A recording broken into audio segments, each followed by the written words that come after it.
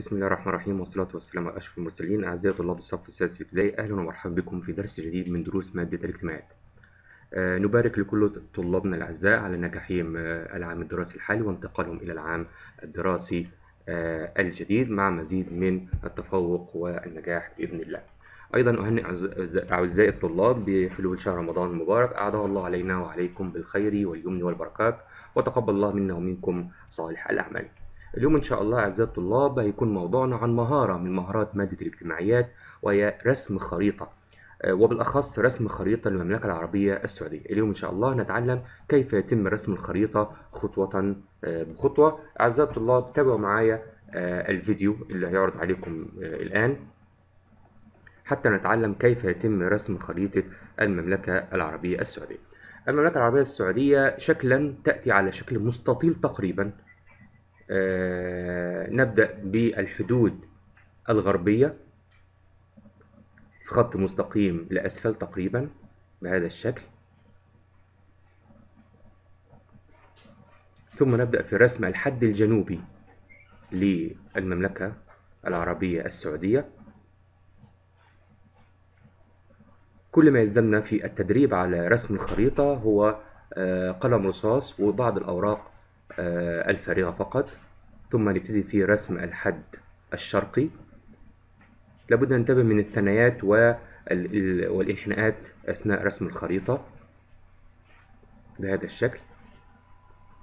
كما ترون تقريبا شكل مستطيل جانبين كبار وجانبين آخرين صغار. هنبتدي الآن في رسم الحدود الإدارية يعني رسم المحافظات داخل المملكة العربية السعودية.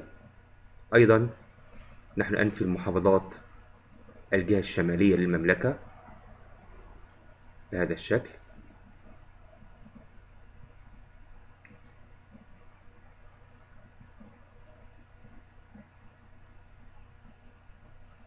طبعا المدن والمحافظات في المملكة تختلف من مكان إلى آخر كل منها لها مساحة. هناك محافظات أو مدن سعودية مساحتها كبيرة وأخرى مساحتها صغيرة فتتباين من حيث المساحة وأيضا تتباين من حيث عدد السكان.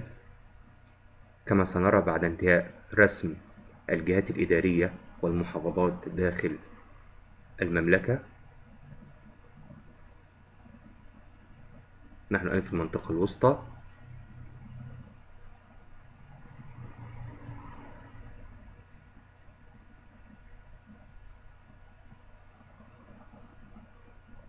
أعزائي الطلاب مطلوب منكم بعد انتهاء الفيديو تقوم بالتدريب على رسم خريطة المملكة أكثر من مرة وهناك مسابقة لأفضل ثلاث خرائط يتم رسمهم.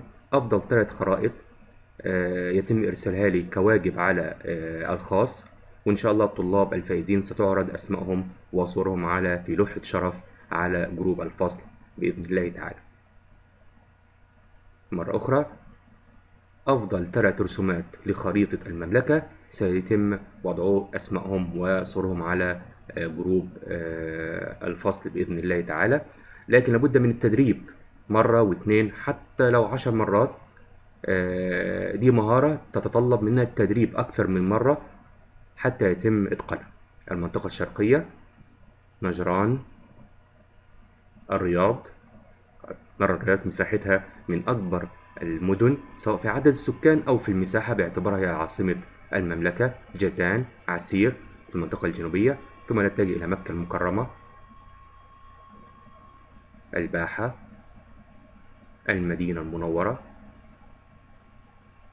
تبوك الجوف في المنطقة الشمالية حائل القصيم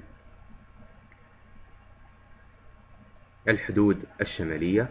وكده نكون قد انتهينا من درس اليوم.